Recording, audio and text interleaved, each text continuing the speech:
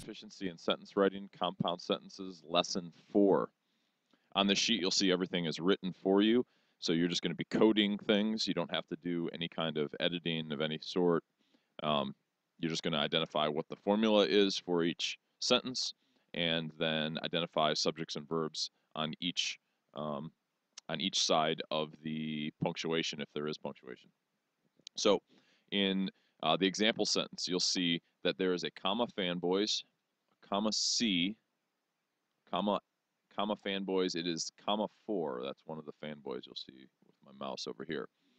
Um, so on that one, um, they identified to the left of that comma fanboys, um, the sentence to the left, they identified the items to the left. So the subject was we, the verb was hoped. And then for good weather is the junk. Then there's the comma fanboys. Um, and so then you have a sentence to the right. So the sentence to the right, the subject is we, and the verb is wanted. Remember that to go, to plus a verb is junk, not the main verb of a sentence. So to go to the pool, that's just junk. Okay, now down into the learn by watching section. Question one. So there is a semicolon.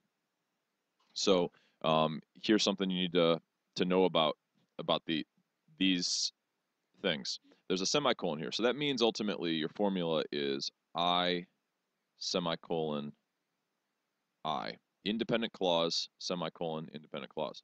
If you go to learn by sharing, number one, you notice there is no comma fanboys, comma, comma coordinating conjunction. There's nothing like that. There's also no semicolon. So that means that this actually has a, a simple sentence formula. And the simple sentence, a simple sentence formula would just be one of these four things here. So, Masio painted. Now you see the word and. Now that could mean that there's another verb, but it's it's not. It's just the two things that he painted. So Masio painted. So then over to the left on that one, you're just going to put SV because that's ultimately the structure of your sentence. A single word subject, a single word verb. Pretty easy to account for. This one is comma C uh, comma, but is the fanboy. Coordinating conjunction, fanboy, same thing. So on this one, you're going to end up, the formula will end up being I, comma C, I. All right, so the we've got to identify the first independent clauses formula. So the mural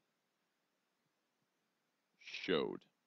All right, now over here is going to be an S, SV, SVV, whatever some kind of formula like that. It. Now, also is an adverb, just like not. So let's add that to the list.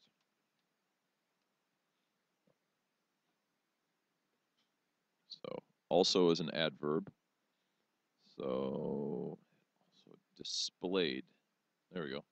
It's just SV comma C, SV. And that's the structure of this. This is how you'd have to do these. Um, I'm not sure where my, oh, I need to identify this. Okay, the students made, and then it, and that was a complete, that one has a, a two-word verb, so it was designed. Okay, anyway, you've got the first three done. You have a few more to go. Good luck.